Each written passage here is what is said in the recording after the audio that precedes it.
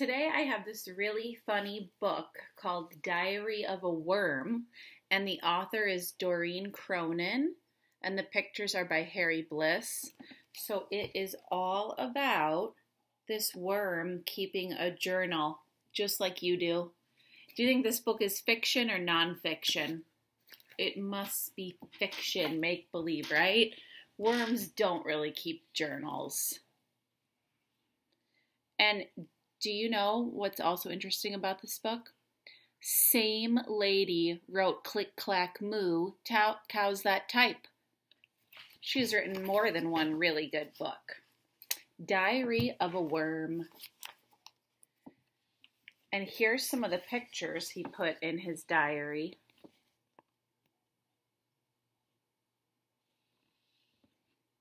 It's pretty silly.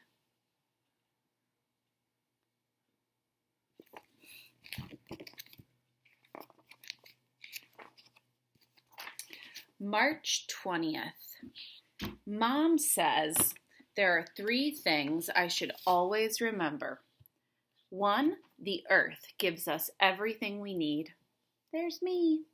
Two, when we dig tunnels, we help take care of the earth. Must make tunnel, help earth breathe. Three, never bother daddy when he's eating the newspaper. Chomp. March 29th. Today, I tried to teach Spider how to dig. Spider sang, Huh? Because spiders aren't so good at digging. First of all, his legs got stuck. I think I've twisted one of my ankles. Then he swallowed a bunch of dirt. I give up. Tomorrow he's going to teach me how to walk upside down. March 30th. Worms cannot walk upside down. That looks like a scary day. April 4th. Fishing season started today. We all dug deeper. This says bait. This says grandpa. And some one of the other worms is saying, "Did you guys hear something?" Do you know why they dug deeper? What do people use for bait fishing? Worms. They didn't want to get dug up and fed to a fish. April 10th. It rained all night and the ground was soaked. We spent the entire day on the sidewalk. We learned hopscotch is a very dangerous game. April 15th, I forgot my lunch today. I got so hungry, I ate my homework. My teacher made me write, I will not eat my homework, 10 times. When I was finished, I ate that too. April 20th, I snuck up on some kids in the park today.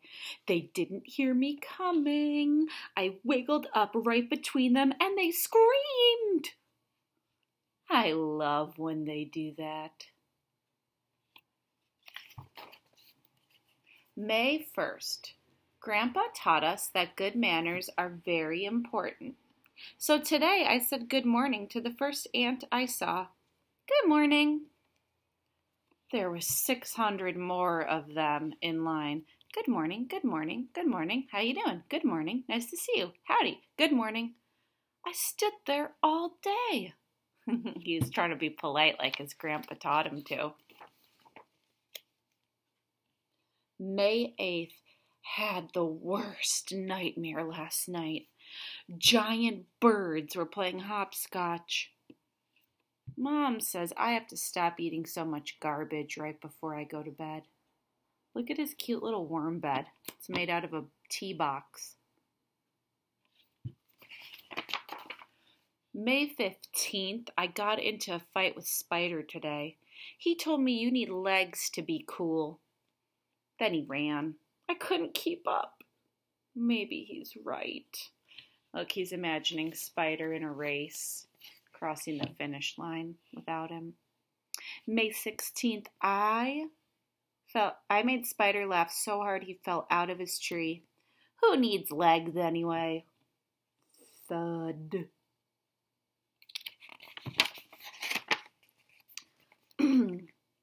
Last night, oh, it's May 28th. Last night I went to the school dance. You put your head in, you put your head out. You do the hokey pokey and you turn yourself about. Well, that's all we could do. June 5th. Today we made macaroni necklaces in art class. I brought mine home and we ate it for dinner. You're very talented. June 15th. My older sister thinks she's so pretty. I told her that no matter how much time she spends looking in the mirror, her face will always look just like her rear end. now, that would normally not be a very nice thing to say, but the funny thing about worms is their head really does look just like their rear end. Spider thought that was really funny. Mom did not. Uh oh. Ju- July 4th. When I grow up, I want to be a Secret Service agent. Spider says I will have to be very careful because the president might step on me by mistake. It's a dangerous job, I told him, but someone's got to do it.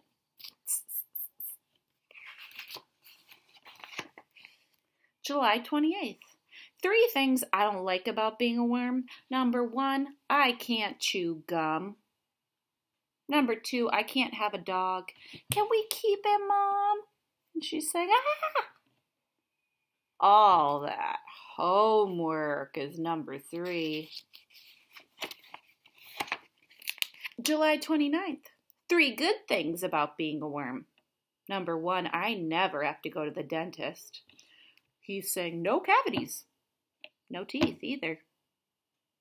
Number two, I never get in trouble for tracking mud through the house. And number three, I never have to take a bath. And his mom saying, Oh, who's my grubby little boy? She likes him to be grubby. August 1st. It's not always easy being a worm. We're very small, and sometimes people forget that we're even here. But, like Mom always says, the earth never forgets we're here. It's true, earths do live underground and they do help the earth. And here's some more pictures. A bee stung him, he's all swollen. He found this really cool rock. He doesn't know it's a baseball. Isn't this leaf awesome? Mom and Dad's anniversary. Gross! Here's his own comic. And her sister's slumber party. He must have scared him.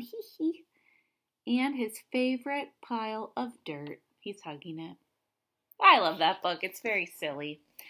Um, and I also wanted to mention Luna did some scientific research, and she told me that she found out on a Wild Kratts episode that worms cannot drown. And if you want to watch it, it's called the episode of the Squirmy Wormy. You could learn even more about worms, but I bet you won't learn that worms keep a journal. So, boys and girls, this week we learned all about living things and non living things. We did learn that worms are living because, hmm, how do we know worms are living? Can anyone remember a reason? They eat, they need water, they need air. Can they move by themselves? And do they reproduce? What does reproduce mean again? To have babies to make more of themselves. Right. So then I also sent you a little page where you could sort pictures, things that are living, things that are non living. But one thing that's really fun to do, um, I've done this with kids as a science experiment at school, is for you to take a piece of paper and separate it just like that other piece of paper was where you sorted things. One side says living, one says non living. And then to go outside and do some scientific research. So, what I do with the kids at school is we go outside, we pick a spot, and I blow the whistle, and everybody gets low. And you look around and you listen for something that's living and you draw a picture of it under the living side. Or then you could try to write the word too. And then you look or listen for something that's not living. Same thing, draw a picture, write the word. Then you stand up, walk to a different place, and do the same thing for both sides. Then you stand up, walk to a new place, and do the same thing in a new place again. So you could have a whole bunch of things right in your own yard or your street of living and non living things. It's pretty fun. So I hope you enjoy it. I'll see you tomorrow.